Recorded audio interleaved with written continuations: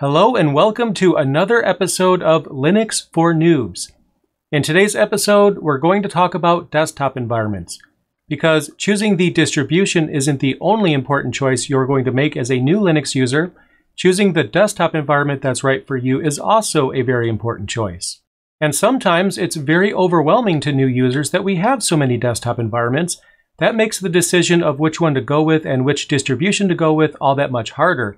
But in this video, I'm going to show you guys all of the popular desktop environments, give you a general overview, and then that might help you make the decision as far as which one caters more for your use case.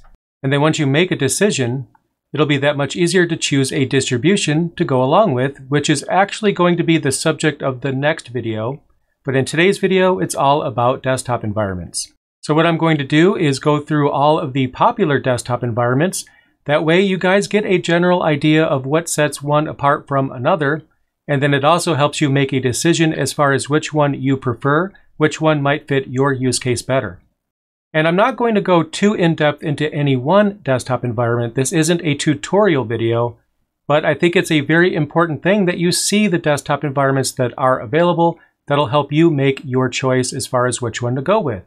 In the next video, I'm going to give you an overview of the more popular Linux distributions that are available, and armed with the knowledge that you're going to get in this video, as well as the next, that'll help you make a decision as far as which distribution to go along with on your laptop or desktop. Before we get started, there's a few things I'd like to tell you about my channel, and then we'll get right into it. Thank you for checking out Learn Linux TV, your source for Linux-related fun and learning.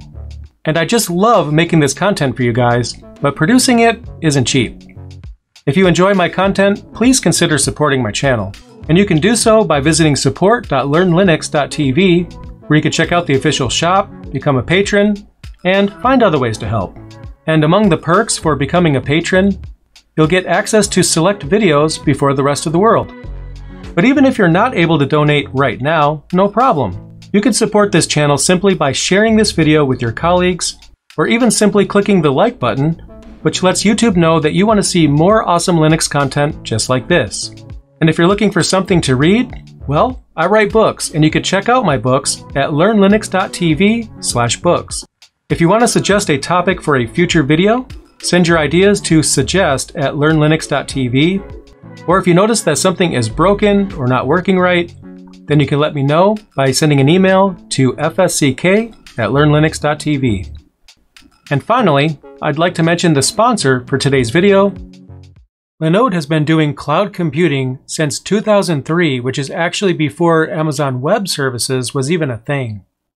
On Linode's platform, you can get your server up and running in minutes, and they include all of the popular distributions such as CentOS, Debian, Ubuntu, Fedora, and get this, also Arch Linux. And let's be honest, what could be better than a Linux cloud server provider that allows you to tell all of your friends, I run Arch? Linode has multiple server plans available to make any app scalable and flexible. You can use it to host a blog, set up a VPN server, a Minecraft server, or you could do what I did and set up a website for your YouTube channel because the official website for Learn Linux TV runs on Linode.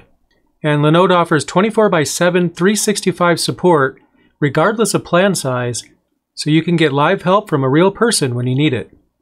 New users can get started right now with $100 in credit towards a new account. And I highly recommend you check them out because Linode is awesome. And with that out of the way, let's get right into today's video.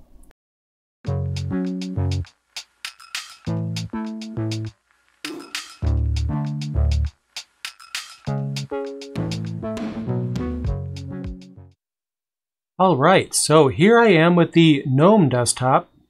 I'm actually running Fedora, but Fedora provides a very vanilla, meaning unchanged GNOME experience. So what you are seeing right now is GNOME pretty much as the developers intended. The thing is though, the developers and designers of the GNOME desktop have declared that it should be pronounced GNOME, and there's actually a good reason for that that I won't get into, but I just have a habit of calling it GNOME with a silent G, which is technically the proper English way to pronounce it, but I just wanted to let you guys know that the GNOME desktop is actually supposed to be pronounced GNOME, so if you hear someone pronouncing it that way, you won't be surprised. But anyway, enough about that. The GNOME desktop is a very divisive desktop. Some people really love it, including myself. It's my favorite desktop environment on Linux. It's what I use on all of my computers. But other people, they don't like it so much because this is not a traditional desktop environment. It's actually quite unique in how you use it. On your screen right now, you are seeing the default GNOME desktop, and it looks kind of empty, doesn't it? There's no icons anywhere on the desktop at all. And we have this black panel up here at the top, and that's about it. And the reason for that is because the GNOME desktop wants to stay out of the way and actually put all of the focus on the applications that you're running. If you click on Activities, for example, and you can get to the same screen by simply pressing the Super, aka Windows key on your keyboard, we have a panel here on the left that's not normally visible. And what you are seeing here is a combination of favorite applications, and then it also shows the applications that are running as well. For example, the file manager, we have a little dot underneath it, and that's how you know that an application is actually running. So for example, if I was to click on photos, I don't have any photos, but you'll get the idea. And then I go back here to activities, we have the dot right here. But I've mentioned that the files application is running, but you don't see it on the screen. And the reason for that is because I have it on a different workspace. GNOME is highly workspace centric. In fact, it has what's called dynamic workspaces. Workspaces are essentially having separate desktops. And as you can see here, I can click on each one of these three. This one I have several applications running here. And then I have photos, which I've just opened. And then I have this empty desktop here. And what I mean by dynamic workspaces is that it always makes sure that you have an empty workspace to use at all times. Most desktop environments with Linux actually have you set a preset number of workspaces that you want.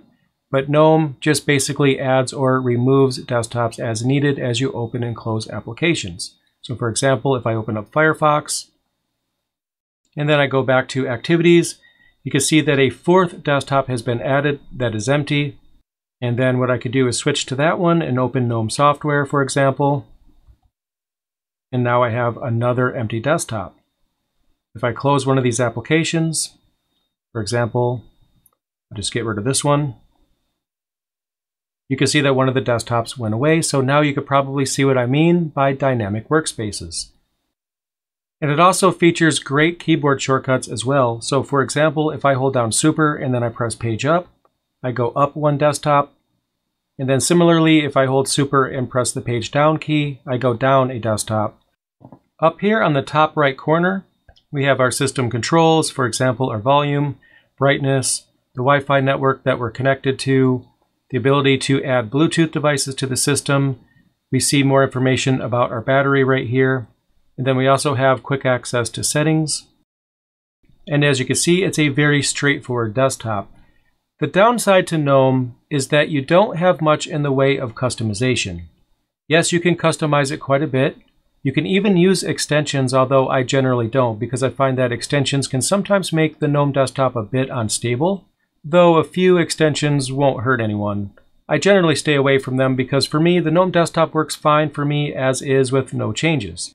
GNOME is basically for those of you out there that want a default desktop environment, and when I say default, GNOME is essentially the default Linux desktop environment. It's installed on many distributions, but to be fair, default in Linux only means it's a suggestion. You can install whatever desktop environment you want but it's as close to a standard in Linux as we currently have. If you want more customization than GNOME provides, then other desktop environments, which we'll be getting to shortly, will give you a greater level of customization than GNOME does, so choose accordingly. So if you don't really care about customization as much and you just want something simple to get you going, then GNOME is great for you. But if you actually have a focus on customization, then you might want to look at one of the other desktops that we'll be getting to shortly. Overall though, GNOME is a great desktop. It's not your typical desktop. As you can see, the interface is quite unique. So it's not for everyone, but I do recommend that you at least give it a shot. Anyway, let's go ahead and check out another desktop environment.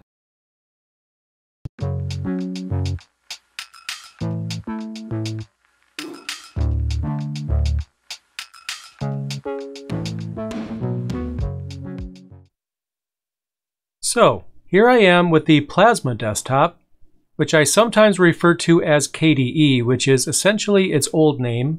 It's a long story.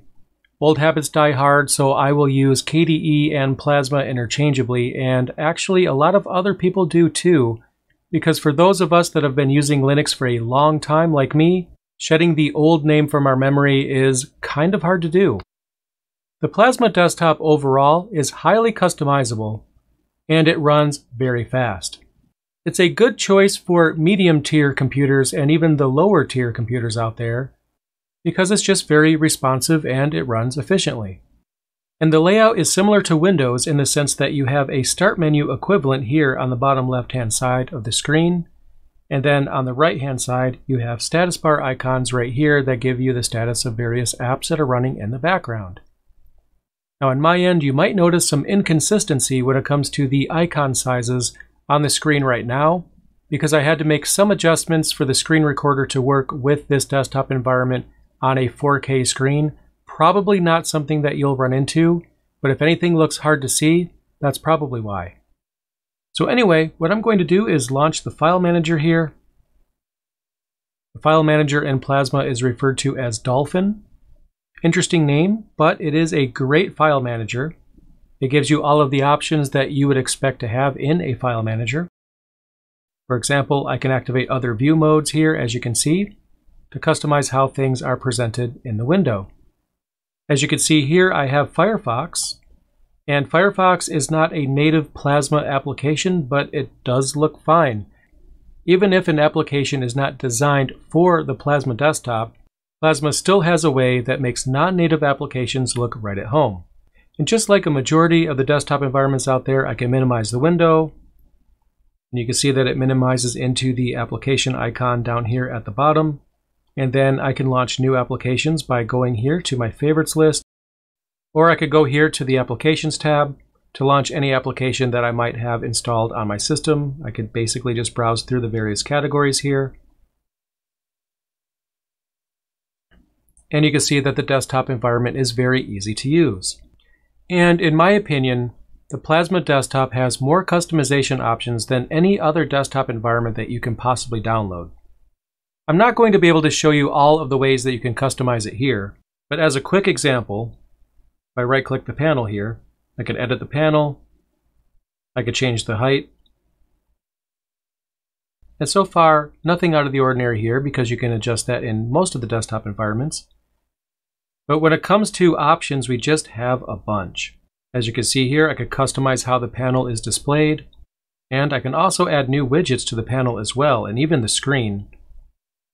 I can add an analog clock here, application dashboard. I could even add an application launcher to the desktop, which is kind of crazy, but you can do it. And the widgets that you can add will either work better on the panel or on the desktop, and some of them work well on both. But Plasma doesn't hold your hand at all, and if you want to put something on the desktop that's actually meant for the panel, well, they won't stop you. They'll let you do whatever you want. And an example of that is I have this Bluetooth icon right here. I could drag this right onto the panel. And here it is on the panel. So now I have something to click on if I want a dedicated place to add or join new Bluetooth devices to my system. As you can see here, I can easily add a new device. Similar to that, I can add that same Bluetooth icon here to the desktop. And like this application launcher app right here, it's kind of weird to have it on the desktop, but again, you can. If you decide to check out the Plasma desktop on your distribution of choice, I highly recommend you just browse around the settings and see what you can do with the customization. If you can think it, chances are you could probably do it.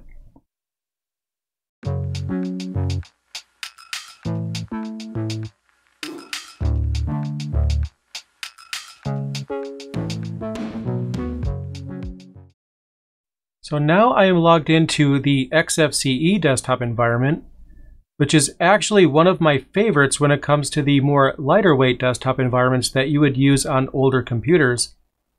But then again, lightweight desktop environments work especially well on newer computers with faster hardware and faster processors as well. And XFCE has been around for a very long time. Although XFCE is a traditional desktop environment, Basically, it has panels, a minimize button, and so on. The defaults of the desktop put the panel on the top of the screen rather than on the bottom. So for example, we have the application launcher right here. And then if I open up the file manager, for example, you'll notice that there's an icon here for the file manager because basically when you open applications, you have a tile here on the top for that application which is very similar to the older style of the Windows taskbar from back in the day before Windows switched to the icon-only view, but it's at the top of the screen. Just like most desktop environments, we have multiple workspaces. One of my favorite features, we have a system tray here on the right. But when it comes to the layout in XFCE, the default layout is just a suggestion.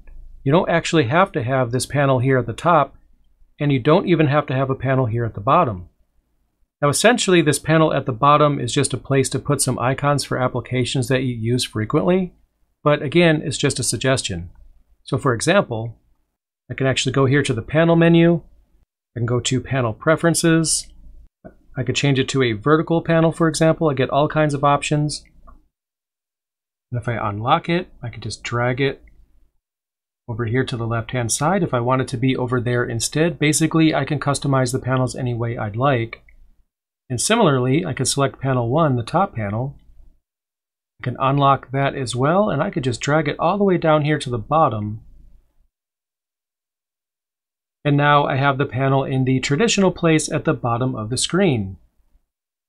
I could even configure a panel on each side of the screen, all the way around the edges of the screen if I wanted to.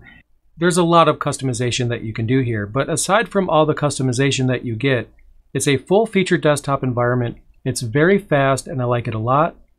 We have all of the things that we would expect to have in a traditional desktop environment, such as system tray icons.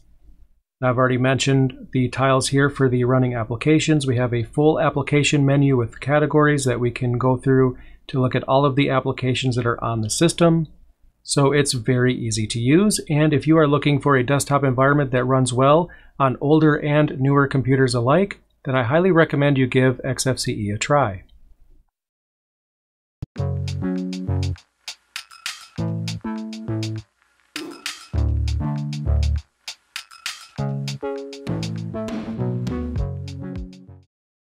Here on your screen right now is the Cinnamon desktop environment running on Fedora.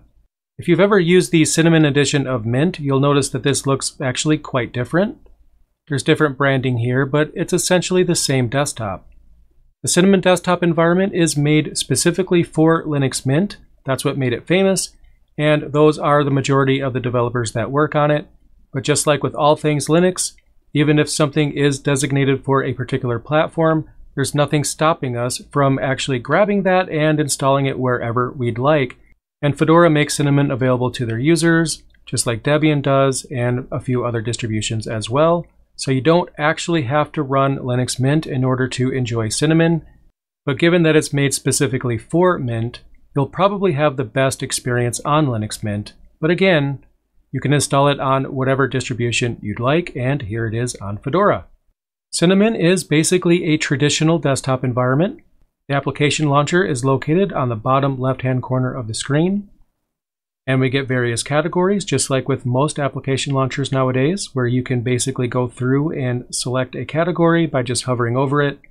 And then once you've selected the category, you just go over here and launch the application that you're looking for. So, you know, here's Firefox. And down here at the bottom, you can see that we have the application icon right here. And if I launch another application, we can see that it opens up in place. We don't get a new icon.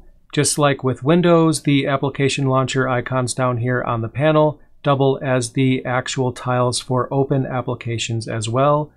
And then by hovering your mouse cursor over a running application, you can see a little preview window here that gives you an idea of what's actually on that application. On the right hand side, we have all the usual controls, for example, Wi-Fi, battery, and other applications that are running in the background. So traditionally, Cinnamon is very easy to use and probably a great choice for someone that has a mid-tier computer and is looking for a more hand-holding experience or an easier to use interface. Although I have seen many professional Linux users use the Cinnamon desktop environment as well, so it aims to be a great desktop environment for, well, virtually everyone. Definitely give Cinnamon a try. There's a number of distributions that actually offer this. For example, Linux Mint, that's the distro that's made it famous, but also here on Fedora, as well as Debian and some others as well. If what you see on the screen right now is appealing to you, then this is definitely worth a look. So there you go. That was an overview of the more common and popular desktop environments available for Linux. Let me know in the comments below which one your favorite is, and then stay tuned and subscribe if you haven't already done so, because once you do, you will get a notification as soon as the next episode is available in this series, if it isn't already. And then once that's uploaded, I'll see you there. Thanks for watching.